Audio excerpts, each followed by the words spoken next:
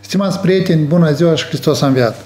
Astăzi vă invit la cea de 96 ediție Analizelor Economice, o proiect comun în viitorul privesc eu. Un uh, proiect unde noi discutăm diferite subiecte de interes național din, și evoluție din economia națională. Astăzi vreau să mă opresc asupra unui aspect despre care noi discutăm din când în când, atunci când se întâmplă anumite evoluții mai deosebite și anume cursul valutar. Toată lumea observă, leu moldovenesc deja ă, a treia lună consecutiv are o tendință clară de apreciere, a ajuns la un nivel foarte puternic față de euro, față de dolar, lumea se interesează din ce cauza acest lucru se întâmplă și cel mai important ce va fi în lunile următoare.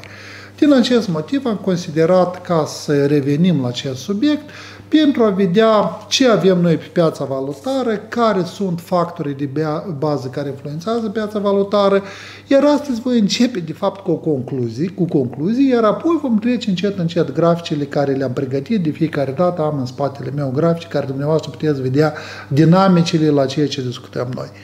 Piața valutară în prezent sau întărirea leului moldovenesc este determinată de câțiva factori fundamentali și îi vom uh, lua pe rând. În primul rând, cererea de valută în prezent, în valoarea anuală, are o tendință clară de diminuare sau de scădere. Deci, în prezent, cererea valutei din partea agenților economice este în scădere. De ce acest lucru se întâmplă? Sunt mai mulți factori, eu totuși voi considera cel mai de bază, este legat de ieftinirea considerabilă a resurselor energetice pe care noi le importăm. Când vorbim de resurse energetice, vreau aici să atrag atenția că Republica Moldova importă nu doar gaze, dar importă și produse petroliere, care în prezent, într-adevăr, au o tendință clară de ieftinire. A doilea aspect care vreau să atrag atenție este legat de faptul că oferta valutei din partea populației crește destul de stabil. De ce aceasta se întâmplă vom vorbi astăzi. Mai departe avem o intrare destul de puternică de valută din din exterior, în special sub formă de împrumuturi și granturi pe care le primește guvernul. Mm, un alt factor care influențează piața valutară este politica monetară și în special rezervele obligatorii în valută pe care băncile comerciale trebuie să le țină și cred că Banca Națională într-un viitor apropiat va relaxa politica monetară, lucru care va duce la intensificarea procesului de creditare economiei, tot pe scurt voi vorbi. Și încă ca fundal trebuie să spunem că în acest an atipic față de anul trecut și de fapt anul trecut a fost un an atipic, avem deja câteva luni la rând din când Banca Națională intervine pe piața valutară procurând valută pentru a nu permite leului moldovenesc să întărească și mai tare. Toate aceste lucruri puse cap în cap ne putem spune următorul lucru. Faza critică a crizei Republica Moldova a trecut, anul 2022 a plecat, va fi marcat ca un an foarte neplăcut în istoria noastră, lucrurile cel puțin pe piața valutară, pe intervenția Băncii Naționale, intrăm într-o zonă de stabilitate și Banca Națională în prezent pur și simplu urmărește ca leu să nu se întărească prea tare, doar voi spune în avans Cred că cei mai bucuroși acum sunt agricultorii, despre aceasta am mai vorbit, dar voi repeta-o uh, încă o dată. Agricultorii noștri, de fapt, sunt foarte puternic influențați de cursul valutar și în acest an piața noastră valutară are un comportament atipic față de alți ani. Ce am în vedere atipic? De regulă la noi, la începutul anului, leul moldovenesc se deprecia față de valută și asta era foarte rău din cauza că agricultorii primăvară procură produsele petroliere plus fertilizanțe, tot ce au nevoie pentru agricultură și plăteau scump. Iar toamnă noi aveam o situație invers când leul moldovenesc s-a aprecia, lucru care iarăși era nu prea bine pentru agricultori, că atunci vindeau marfa și obțineau mai puțin lei pentru valuta care aveau. După scrisori, foarte multe scrisori scrise de către agricultori, nu vreau să zic Banca Națională acționează ca răspuns la agricultori, dar cu certitudine agricultorii în acest an, prima dată pot spune că în sfârșit ceea ce se întâmplă pe piața valutară corespunde cu ceea ce au ei nevoie. Altfel spus, leu moldovenesc în primăvară este mai puternic, ceea ce își doresc agricultorii, deci este exact acel moment când agricultorii doresc primăvară un leu puternic și dacă la toamnă va fi un leu mai slab, atunci în general ei voi fi cel mai fericiți în acest an.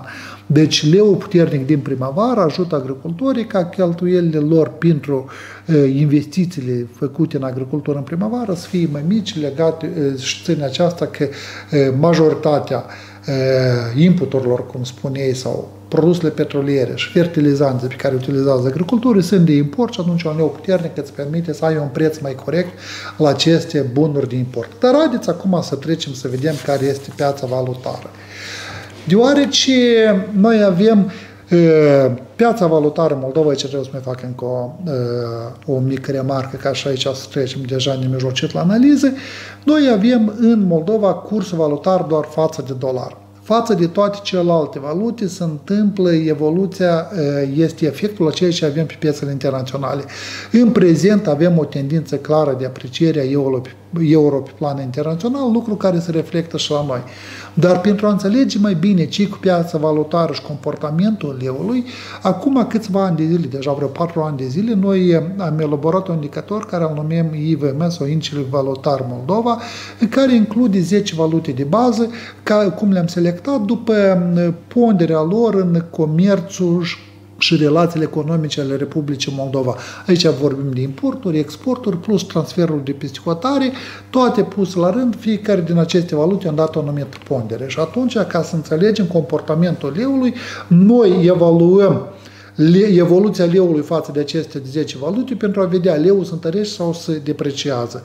Dacă ne uităm la evoluția leului, în această săptămână, încă nu avem date de toată săptămână, dar deja este clar, leu continuă maratonul lui de apreciere, care a început în principiu din luna februarie, dacă observați în prima lună anului am avut o ușoară depreciere a leului, după aceasta avem o apreciere continuă, iar în luna a doua jumătate a lui martie și aprilie avem chiar o apreciere puternică a leului, deci el se apreciază pe lângă factorii generali despre care am vorbit astăzi, mai avem și factorul eh, sezonier sau să zicem factor conjunctural în cazul dat sărbătorile. Leul moldovnesc tradițional se apreciază destul de puternic de trei ori pe an.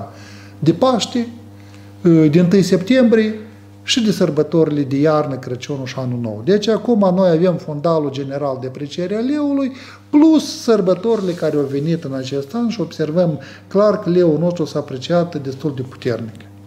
Dacă ne uităm atent, Leul nostru s-a apreciat absolut de la începutul anului față de toate valutele. O mică excepție este ceca, crona cehă, care leul s-a depreciat cu 0,34%, nesemnificativ. Dar în mare măsură putem constata următorul lucru.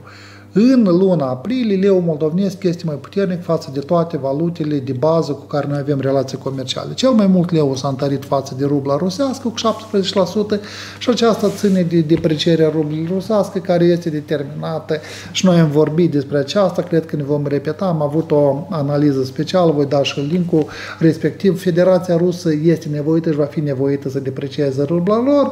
Ei în prezent, comparativ cu 1 ianuarie 2020, 2022 deficitul lor uh, bugetar a ajuns la 6 trilioane de ruble, dintre care aproape tot deficitul este format în trimestru 1 2022, trimestru 4, 1 2023 și trimestru 4 2022. Încasările din uh, vânzările de produs petroliere și gaz au ajuns la cel mai scăzut nivel din ultimii ani de zile, este aproape două ori mai mic decât a fost până la începutul războiului din Ucraina, deci Federația Rusă se confruntă cu probleme majore și lucrul acesta se reflectă și în valute.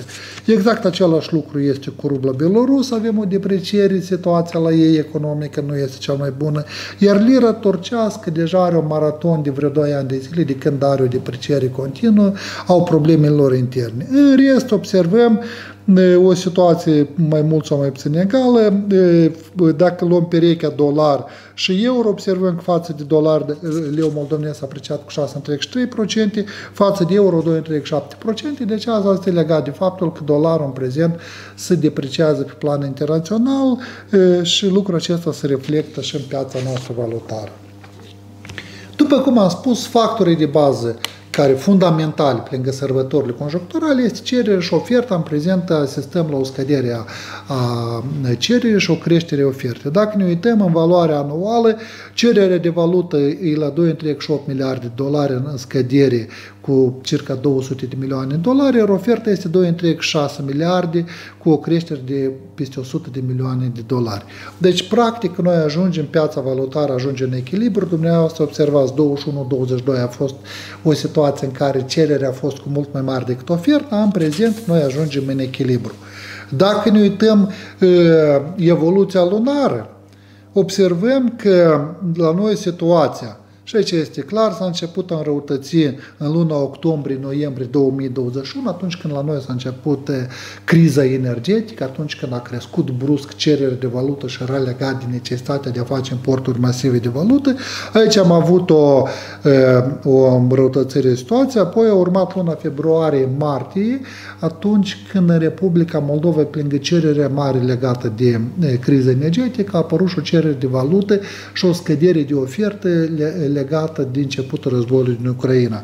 Astfel, în luna martie, în aprilie-martie, noi am ajuns la o diferență dintre cerere și ofertă de peste un miliard de dolari. Asta este cea mai mare diferență care am înregistrat-o vreodată. Iar în prezent, noi observăm că, în principiu, situația să ajunge în echilibru și la noi, în prezent, asistăm la o creștere continuă a ofertei și o scădere continuă a cererii de valută, lucru care, evident, duce la aprecierea leului moldovenesc.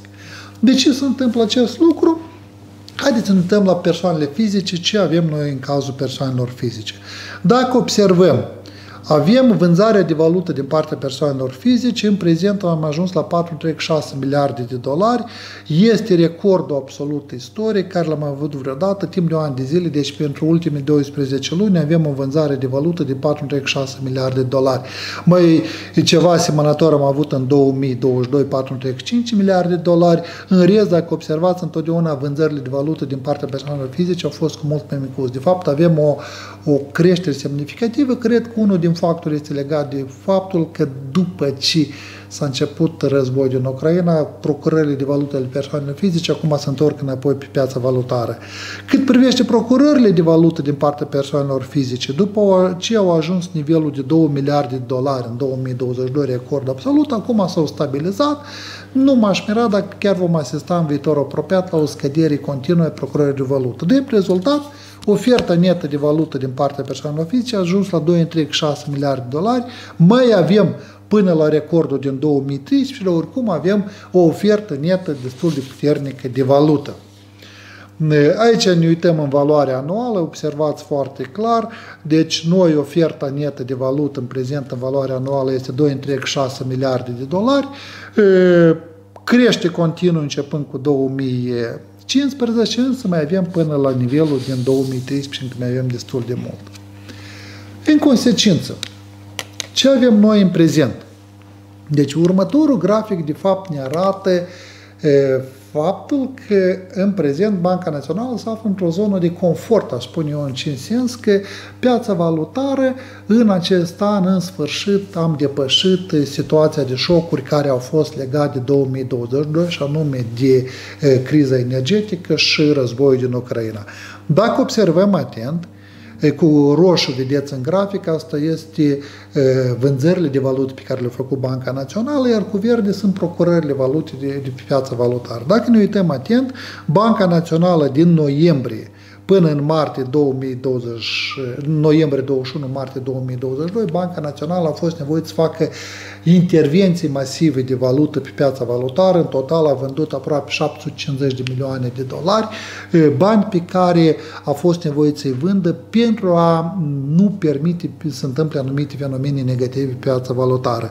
Noiembrie, decembrie este legat de criza energetică, ianuarie, februarie, ianuarie tot criza energetică, februarie și martie deja de începutul războiului din Ucraina. Deci Banca Națională, în acel moment când am avut practic o diferență mare din cerere și ofertă, a făcut intervenții masive pe piața valutară. În acest an a fost nevoie doar în luna noiembrie. Țineți minte foarte bine, era o zonă de incertitudine, nu știam ce se va întâmpla, iar în prezent noi avem deja timp de patru luni de zile Banca Națională De regulă, în perioada de iarnă, în special în luna ianuarie, noi întotdeauna am avut o intervenție a Băncii Naționale, deoarece aveam întotdeauna un deficit de valută. Acum avem o situație inversă, Banca Națională procură valută deja patru luni consecutiv, lucru pentru a nu, de ce face acest lucru? Pentru a nu permite leului moldovenesc să aprecieze și mai tare. De fapt, avem o situație în care, în principiu, piața valutară în prezent are o tendință clară de apreciere, avem o situație stabilă pe piața valutară și Banca Națională doar intervine pentru a nu permite ca leul moldovenesc mai tare să se aprecieze. Aș vrea să trecem deodată la ultimul grafic pentru a arăta ce se întâmplă. Dacă ne uităm atent, cel mai mult ce a afectat piața valutară în 2021 și 2022 a fost resursele energetice. Aici vreau să reamintesc că noi importam resurse energetice în anul 2020, am importat de 589 de milioane de dolari, deci este practic minimul istoric pe care l-am avut noi în ultimii 15 ani de zile. 2020 a fost un an foarte favorabil din simplu motiv că era criză, pandemie, cu resursele energetice s-au ieftinit foarte mult și noi am importat puțin. În 2021 a început criza, 2022 estimativ am ajuns la 1,7 miliarde de dolari. Și aici vreau să reamintesc că estimările noastre inițiale erau că în 2022 vom importa de 2,4 miliarde. De ce am scăzut la 1,7 miliarde? Legat de doi factori de bază. În primul rând, noi am avut un consum mic fără precedent a gazului în Republica Moldova. Practic, consumul nostru de gaz a fost de două ori mai mic decât uh, ar fi în mod obișnuit uh, și chiar dacă în trimestrul 1 2023 noi am avut Uh, cea mai mare plată pentru gaz din istoria noastră de 300 milioane de dolari, dar această sumă este de două ori mai mică decât ar fi trebuit să o plătim dacă noi consumam gazul cât al consumam tradițional. Și doi, noi în 2022 și 2023 practic nu importăm energie electrică. Aici vreau să uh, menționez că energia electrică pe care o cumpărăm noi de la Curciurgani nu este energie electrică importată, este energie electrică produsă pe teritoriul Republicii Moldova și este achiziționată pe lei moldovenești, nu este achiziționat în valută. Din acest motiv, schimbarea structurii de import a energiei, de, de consum, în ce scuză, nu este import, că noi din Transnistria nu importăm energie electrică, este o, o, o achiziție locală, plus consumul mic de produse petroliere, plus consumul mic de gaze, plus ieftinirea produselor petroliere a dus o în efect cumulativ că la noi presiunea pe piața valutară a scăzut și dacă în anul 2022 anticipam un consum, un import de 2,7, am reușit să economisim 700 de milioane de dolari, bani pe care n-am trebuit să cheltuim și respectiv a scăzut presiunea și n-a fost nevoie, nevoită Banca Națională să intervină, ba din contră a intervenit invers. Pentru 2023 considerăm că importul de resurse energetice va fi de maxim 1 miliard de dolari, ehm, se scade, va scădea pe toate dimensiunile, lucru care evident bucur, iar dacă luăm eh, raportat la produs intern brut, despre aceasta cred că voi scrie o analiză separată, șocul energetic putem spune că l-am depășit. El nu a fost atât de grav cât îl anticipam, dacă noi anticipam șocul energetic eh, să fie undeva 16% din produsul intern brut, cel mai mare din ultimii aproape 20 de ani, Totuși, el a fost cu mult mai redus, undeva la nivel de estimativ 12% din produsul intern brut, iar în 2023 noi deja ajungem în starea uh, obișnuită pentru ultimii ani de zile. În concluzie, tot ce a fost mai greu, cel puțin pe dimensiunea, piața valutară, cererea, oferta de valută, necesitățile de valută, costurile mari de import a resurselor energetice, a trecut, în prezent avem o presiune pozitivă în sensul bun al cuvântului, deci nu există e, o presiune de cereri de valută, din contră avem o ofertă din ce în ce mai mare și o cerere din ce în ce mai scăzută, lucru care va continua în următoarele luni, ce va fi, cel mai probabil Banca Națională va face în continuare intervenții, nu va permite leului moldovenesc să aprecieze, că asta este tendința lui general de apreciere, Ă, această apreciere din primele luni ale anului sunt benefice, în special pentru agricultori. În următoarele luni, ă, problema cu inflația nu avem, din simplu motiv că avem o tendință clară de minoare a ratei inflației, care pentru luna aprilie cel mai probabil va fi sub nivelul de 20%. lucru care va permite băncii naționale să relaxeze politica monetară, să reducă rezervele obligatorii, fapt care va încuraja împrumuturile din partea băncilor comerciale, cred că băncile comerciale vor începe să crediteze din ce în ce mai activ economia, inclusiv sub formă de valută, iar leu moldovenesc va avea o tendință stabilă cu o înclinație, sper eu, spre depreciere și de ce spun lucrul acesta? Sper, dacă observați că natural nu va fi așa, dar Banca Națională cred că va forța uh, puțin nota să ducă o ușoară depreciere în a doua jumătate a anului, pentru a ajuta mediul nostru de afaceri să devină mai concurențial, să putem crește exporturile noastre. Trebuie și să spunem că în prezent noi avem o problemă reală legată de exporturile moldovenești, care, dacă excludem factorul ucrainean, atunci noi suntem în principiu într-o scădere a exporturilor și pentru a încuraja exporturile în lunile viitoare va trebui să asigurăm o ușoară depreciere a leului moldovenesc, lucru care va resemna un efort din partea Băncii Naționale de intervenție mai puternică pe piața valutară, fapt care sper că se va întâmpla.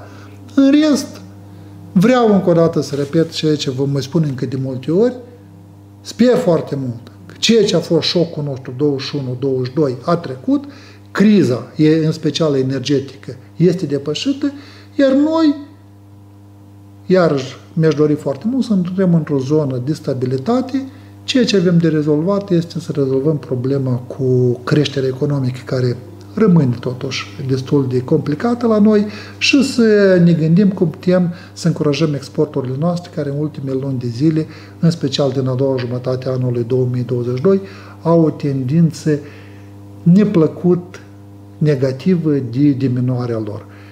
Asta am vrut să vă spun astăzi, până data viitoare, când vom discuta alte subiecte de importanță majoră pentru economia noastră.